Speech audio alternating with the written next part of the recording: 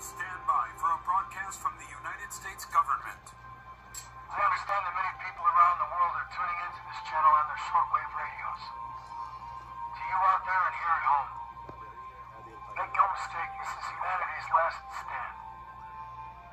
What we do in the next 12 minutes will either define the human race or finish it. For those of you listening, no matter your nationality,